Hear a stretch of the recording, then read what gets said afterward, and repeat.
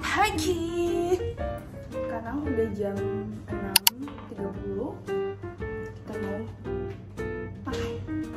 makan Hari ini aku bakal pulang kampung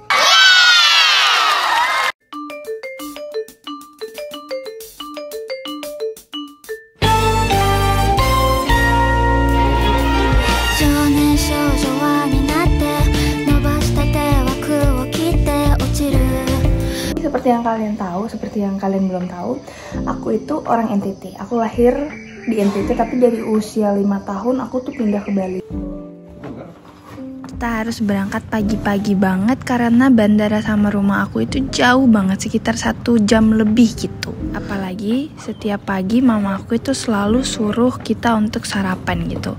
Nggak boleh skip breakfast katanya. Walaupun breakfast yang kali ini itu pagi banget ya guys jam 6 Jujur aja aku nggak biasa sarapan sepagi ini, cuman kata mama aku daripada kita belanja beli makanan di bandara kan mahal. Jadi kalau ada makanan di rumah dimakan aja biar nggak lapar nanti sampai bandara gitu.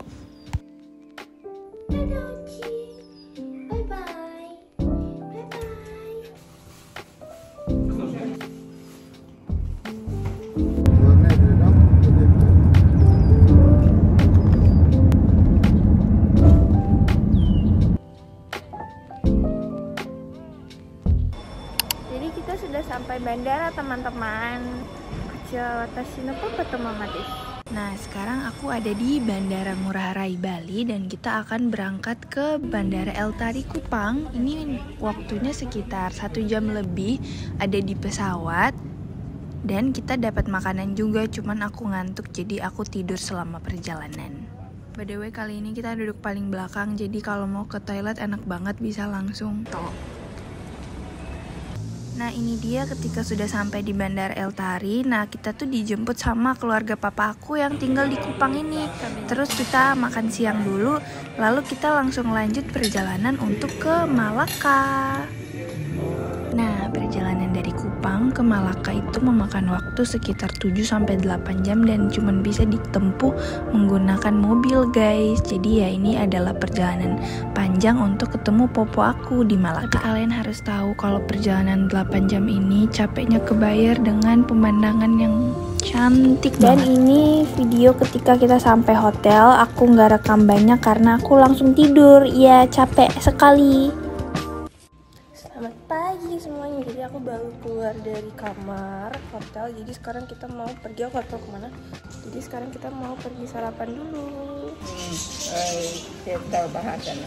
Ciao An. Hmm. Ya tahu, tahu. Jadi Malaka ini adalah tempat kelahiran papa aku.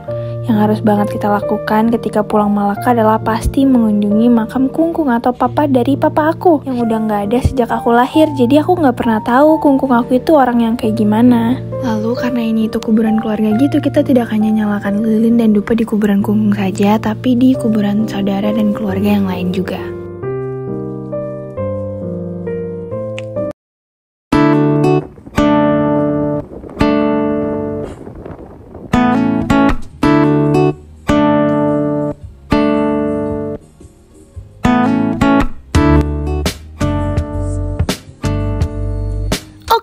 Jadi waktu aku di Malaka itu singkat sekali ya supaya aku bisa ketemu popo aku aja. Lalu ya kita besokannya kembali dari Malaka ke Kupang dan perjalanannya memakan waktu kurang lebih 8 jam lagi pakai mobil. Halo guys, jadi kita baru sampai M Hotel dari Malaka udah di Kupang, berarti dari tadi 7 jam ya di mobil. Oh my god. Jadi kita check in hotel, habis itu kita mandi. Oke deh.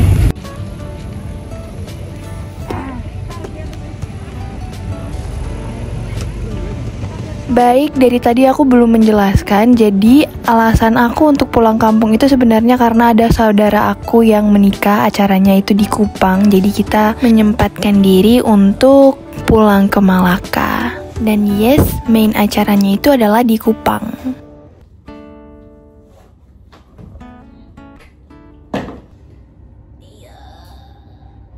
Sudah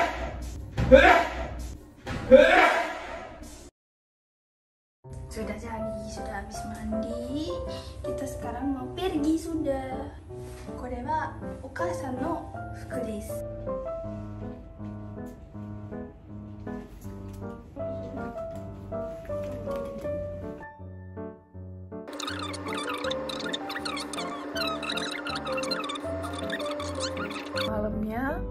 kita dinner sama keluarga papa aku yang ada di Kupang dan hari ini kita mau pergi lagi uh-huh. nanti aku akan update lagi Bye. Hai kan series no Buat kalian yang kepo hari ini aku bakal pergi ke acara apa? Nah jadi kalian tahu kan acara pernikahan orang-orang yang pakai baju putih Terus di gereja gitu? Nah sebelum acara itu hari ini kita bakal ada acara kayak Penyerahan mas kawin dari mempelai laki buat mempelai perempuannya gitu. Namanya tuh sangjit. Jadi ini tuh kayak budaya Cinanya gitu loh. Jadi ini acaranya tuh kayak bakal diadain di dua tempat gitu. Kayak kita bakal pindah lagi nanti. Nggak tahu gunanya buat apa, tapi ya nanti bakal pindah deh. Ini masih foto-foto dulu. Abis itu mungkin di tempat yang satunya itu tempat buat dansa gitu deh. Nah jadi saudaraku yang menikah itu dari pengantin laki-lakinya dan dulang-dulang ini berisi mas kawin untuk pengantin perempuannya. Jadi kita mau di mana ini? pindah tempat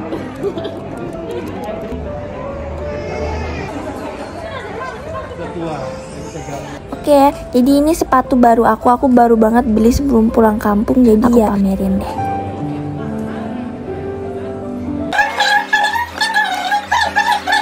Karena itu Sekian dan terima kasih. Saya makan punya sendiri saya. Oke, saya lanjut.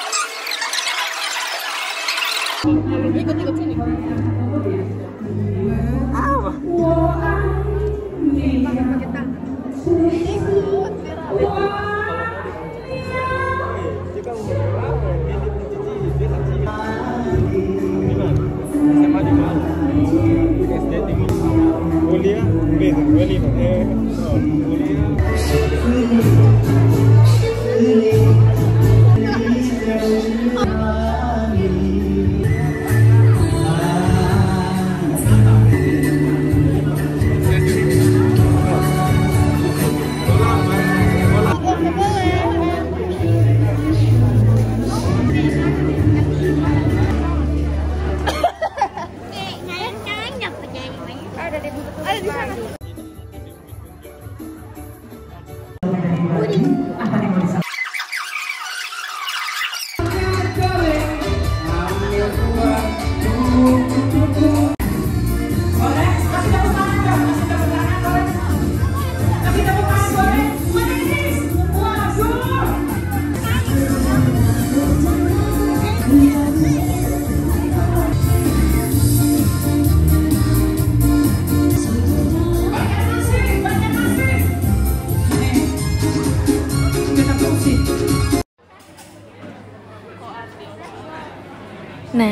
ceritanya aku minta pulang duluan ke mama karena aku kayaknya baterai sosialku habis duluan. Jadi aku udah capek dan aku minta pulang ke hotel duluan deh. Apalagi di hotel yang tempat aku dan keluarga aku nginep ini belakangnya ada pemandangan laut yang cantik banget. Jadi lebih betah di sini deh kayaknya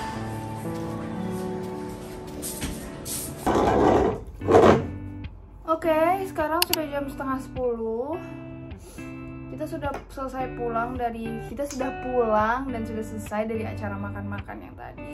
Sekarang Tapi mama papa aku itu masih pada mau pergi ke mana gitu. Jadi mereka turunin aku di hotel dan ya aku bakal mandi. Oke, jadi besok itu bakal ada keikongshiki. Pagi-pagi mama aku itu bakal make up jam 6 gitu ya. Padahal bukan pengantin ya. Tapi karena kan ada gerejanya dulu, pemberkatan pernikahannya di gereja. Pokoknya acaranya tuh di depan aja di depan hotel. Pokoknya itu acaranya tuh di situ guys. Kalau kalian mau tahu itu ya di Millennium Ballroom.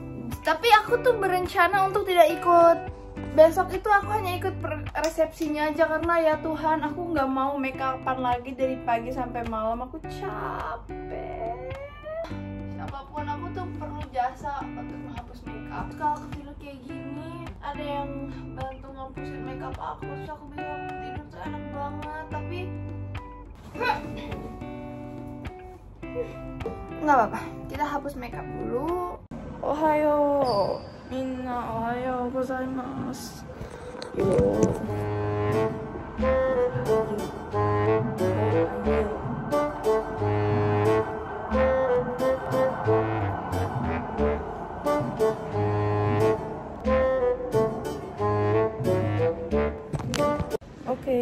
sekarang di jam 8.20 dan kita akan breakfast. Semuanya hari ini sia- sibuk siap-siap karena mereka mau ke gereja ya kan karena ada pemberangkatan nikah di gereja.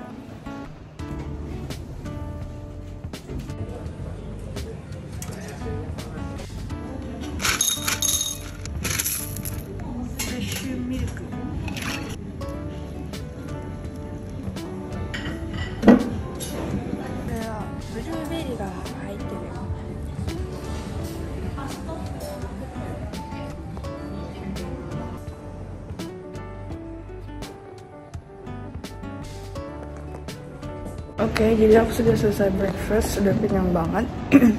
jadi kayaknya aku bakal di hotel sampai sore, sampai acara resepsi pernikahannya deh. Halo minasang, uh, hari ini sesi lagi uh, Jadi aku udah siap-siap, tadi nggak sempet videoin Disuruh mandi jam 4, karena acaranya jam 6 Sekarang udah jam 7an Jadi aku liatin. Gaun aku ya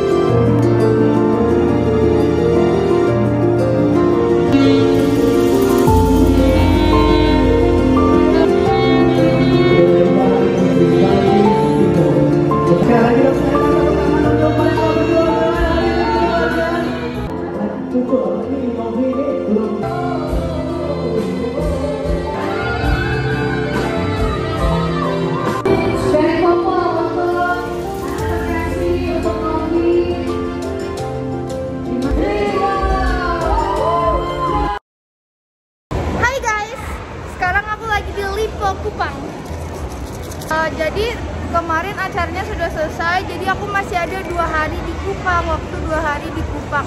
Jadi aku mau jalan-jalan.